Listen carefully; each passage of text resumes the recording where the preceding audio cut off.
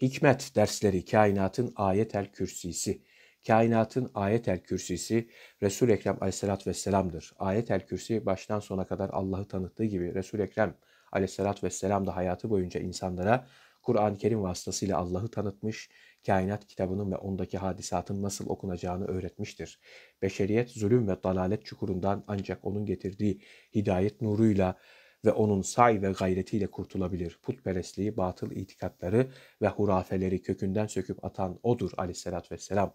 İnsanlık aleminde Cenab-ı Hak hakkıyla tanıtmış ve sevdirmiş. Böylece dünyevi ve uhrevi saadet kapılarını açmıştır. Mürşid Ekmel Efendimiz Aleyhisselatü Vesselam az bir zaman içinde insanların hem kalplerinde hem ruhlarında hem de toplum hayatlarında harikulade bir inkılap yaptı. Her türlü zulmü izale edip adaleti tesis etti. İnsanlar arasında düşmanlık ve nefreti kaldırıp muhabbet ve kardeşliği yerleştirmeye muvaffak oldu